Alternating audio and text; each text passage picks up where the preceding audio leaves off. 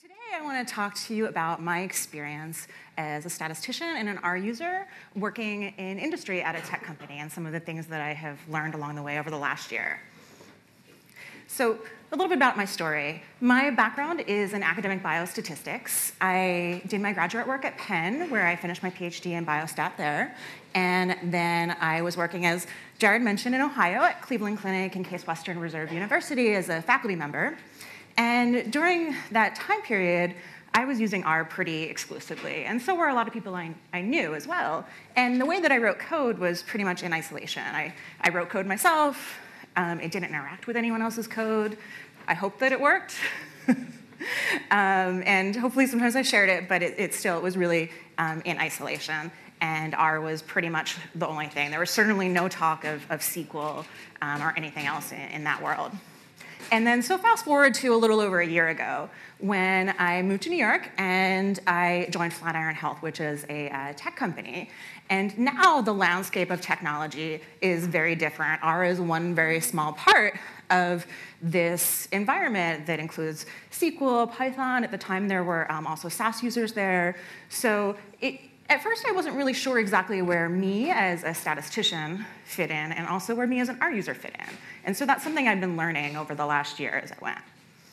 And so, as I talk to you about how I've been using R at Flatiron, just a little bit of background about the company to give you some context. So, our mission is that we work with oncology data to try to improve treatment and accelerate research for cancer patients. And the reason why this is important is because right now only about 5% of cancer patients are in clinical trials. And so those other 95%, they're getting various treatments, and some of them work, and some of them don't work, and some of those patients live, and, and unfortunately, some of them die. And for most of those patients, their data are being collected electronically in electronic health records or EHRs, but they're not really usable for research at scale because they're in many different formats and they're siloed in different places and um, they're not really research quality. So one of the things that we try to do at Flatiron is actually process that EHR data at scale and actually make that data on 95% of patients in the real world usable and actionable. And so we do that in a few different ways. We take some of the structured data um, that is still messy and not research quality, um, but at least it's structured data, and we harmonize that. We also take unstructured data that lives deep in um, notes and um, pathology reports, and also outside information. And then we try to combine it together to make some research grade data that we can then use to answer questions. And so, who does all of this work? So, you can see this is a lot of kind of um, technology infrastructure that you need for this. And in fact, it's a lot of software engineers. So, I'm going to give you some numbers here from last January when I started the company. So, at the time, we had about 140 people and of those, over a third were software engineers. And that made a lot of sense. Like you saw, big technical infrastructure to build all of this data to use. But at the time, we were really just starting to figure out how we use that. So there was one quantitative scientist at the company when I started. She's in the back, Melissa. Um, and so, like I said, so that ratio, 50 to 1, you know, I, I entered the company and I said, well, as a statistician and R user, where do I fit in? Well, as a tech company, we've been rapidly scaling. So in the last year, we're now over doubled in size. We have, in terms of quantitative scientists team, we have 10 people now. So we went from one to 10, which is a, a pretty big jump. Still, though, there's 70 software engineers and 10 quantitative scientists. So um, it, I think it's still a big question of when do we use R and, and how do we use it? And so here's some kind of some did a little survey last week. These are very small samples, very anecdotal. Um, the people on the quantitative sciences team, I asked what, when they started, what was their primary language? What were they most comfortable in? So you can see actually there were a lot of people who were SAS users when they started, um, and just a few who really thought of R as their primary language. One of them was me.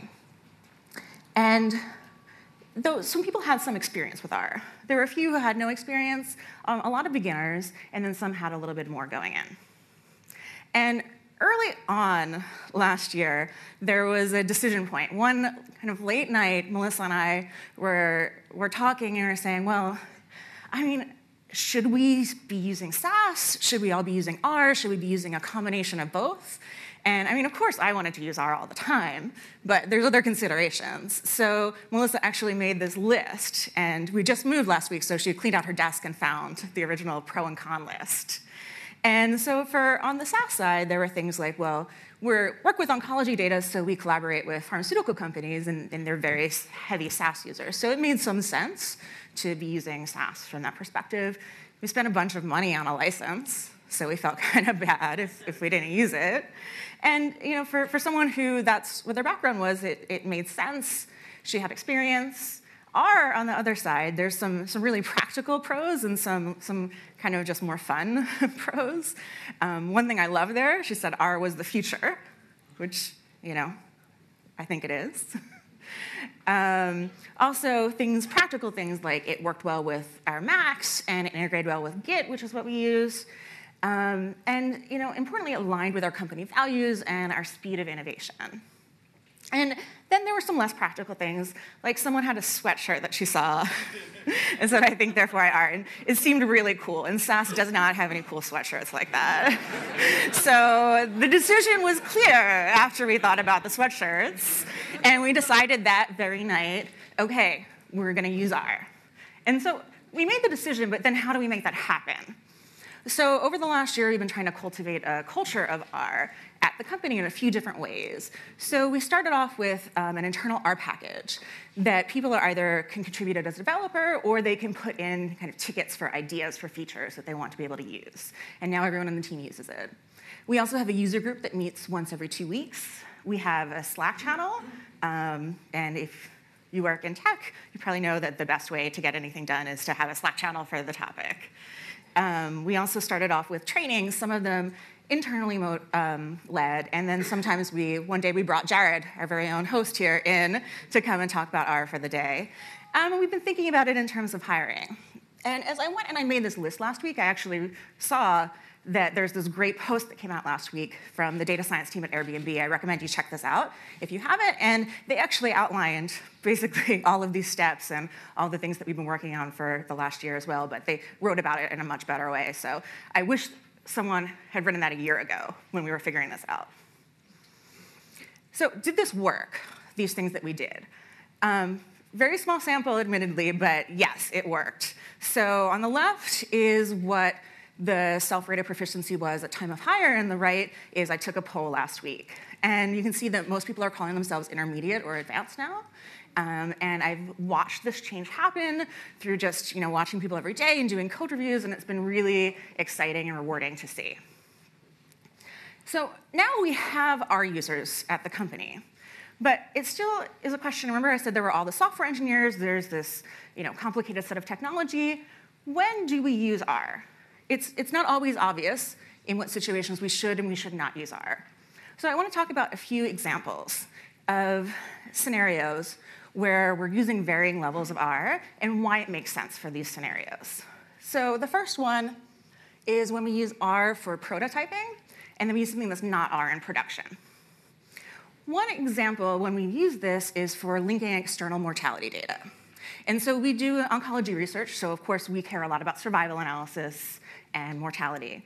And we had some internal data and we had some external data as well. And so when we were linking them, our first prototype, um, this was something that um, I implemented and it was just me working on it, so it made a lot of sense for me to use R. And it was a one-time linkage for a smallish cohort of just a few tens of thousands of patients. And I used the record linkage package in R. It has a probabilistic linkage method using a variation of the EM algorithm. It works really well for this case, and it was easy to implement. Then when we moved this into production, where we were doing this at scale every day on about 5 million patients, it was possible we could have used R, but we actually really thought really critically about should we use R in this case, or are there, are there alternatives that might work better? And in fact, uh, some of the things that we considered were that the code was maintained by a different team. So one thing about being in a rapidly scaling startup is you don't stay working on the same thing for a long time. You work on it, you get it to a good place, and then you move on to the next team and the next project. Um, so this would not be something that I would be continuing to work on. So what we ended up doing is we actually I collaborated with a few software engineers on the team who can write SQL um, much better than I can. And we were able to collapse kind of that probabilistic method into a set of deterministic decision rules and implement the logic in SQL. And it works um, not quite as well as the probabilistic linkage method, but approximately as well. Like it was good enough for our use case, and we can do it easily at scale every night. And in, in this case, I think this was actually really the right choice, and it made a lot of sense because one reason was this was a stable method. We weren't going to be doing a lot of rapid iteration after we got the first prototype done of the SQL-based method, so um, it could just be put in place and not necessarily having to change it all the time. Also, the original one had some tuning parameters that really kind of took some care to pay attention to, and so this was a little bit easier to just kind of implement and then, um, and then just put aside. Um, also, it had similar performance but more transparency. So that's important here because, like I said, people are moving to different teams all the time. And so at a rapidly scaling startup, documentation is really important because the person who's working on something now is not the person who's going to be working on it in three months from now. So the person who comes in to work on it needs to be able to read kind of a wiki page and completely understand the process. And so the more transparent something is, that's actually a huge advantage in this world. And, and lastly, like I said, the team that was going to be maintaining the code, it didn't happen to have anyone from our quantitative sciences team or anyone who was an R user. So to actually leave behind some R code that other people would be maintaining, they might not really want to, or if they ran into problems, they might need to pull us in a lot. That wasn't necessarily practical in this case. So the next example is very different. It's R is actually a very long-term solution. And the use case here is for um, a series of QA reports we do. And these are really critical for us because we have kind of continuously updating data from a lot of sources that we're combining and harmonizing and transforming in a lot of ways. And the underlying source data are always changing, and our manipulations on the data are always changing. And so and it's also very messy data, the source data. So in order to know when things go wrong and be able to, to see what's happening, it's a really non-trivial problem. And so we do a lot of continuous QA monitoring of the data. And in this case, the early version was actually um, prototyped by um, one of my colleagues, Alpan, in um, last January. And the current version has a lot of improvements, but it's still kind of at its bones, very similar. Um, and he implemented something where he actually used an R script to run um, bash commands that would extract data using one of our ETL tools. And that was run via the command line with various different parameters. At the time, we actually had a meta file that we manually updated some of the parameters. And this runs a series of R Markdown files and renders HTML output that, HTML output that has some really cool visualizations and some cool statistical analyses and is really helpful in letting us, allowing us to kind of um, monitor what's going on and act on it. And so the current version is kind of, like I said, at, at its heart, very similar, but it's now much fancier in a lot of ways, and it's really evolved over time. It's been great to watch. So now we have it linked to a data pipeline that's actually maintained by software engineering. And that meta file we used to update manually, now we generate that dynamically through a shell script. We use Plotly for some, some really great interactive survival curves. We have a really beautiful uh, Bootstrap theme that makes it look really nice. Um, and our plan is to continuing using R for this indefinitely, actually, in this case. And why did this make sense here but not for the other case? So partly because this was living on a very mature product and team, and that team also had quantitative sciences members from the beginning and will probably forever, or at least as long as the team exists. So there was always someone there to maintain it and to develop in it. Um, also, we you know, had a really great um, partnership and support and collaboration with the software engineering team who kind of recognized the value of keeping this in R so that we could continue to do rapid prototyping and rapid iteration because the requirements that we had were dynamic. They were changing over time, so we needed to be able to be constantly evolving and responding to those changing requirements. So the last example is um, kind of a hybrid of those two, which is where we're using R and then also not R in parallel. And this makes sense in some examples we're doing now with um, some of our external collaborations. And those are typically involving specific research questions. And what we're doing is we're actually having two people um, write code independently um, usually one a software engineer and one a quantitative scientist, and in kind of over some combination of maybe Python and SQL, and then also in R and comparing the results. And so the language choice here is somewhat incidental. So it's a nice feature that we're doing things in two different languages. But really, the big point here is that it's more about two different perspectives, two different people coming from completely different approaches and independently implementing something. And so we can have a lot of confidence then in the results.